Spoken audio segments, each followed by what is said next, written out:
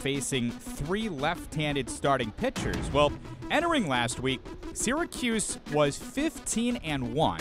1 1, ground ball, third base side, it's fair, and it's down the left field line. Acuna's around first, he's heading for second, and he jogs in easily with a lead-off double.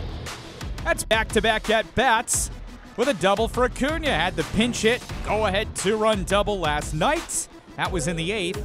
And now he's got a lead-off double here to begin the bottom of the first inning this afternoon. Good spot in the lineup for the Mets to get the run right back and tie it up. One, two, three. Top of the lineup. 1 0. Swinging a line drive. Hit well. Deep left center field. This ball is gone. Luisangel Acuna hit a line drive laser beam that just kept sailing all the way over the left center field fence. He's popping a big old bubble as he rounds third and touches home plate.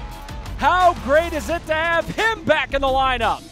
He wins the ball game last night with a pinch hit double down the left field line, and he's killing it on a Wednesday afternoon. Doubles in the first and ties the game up here in the third.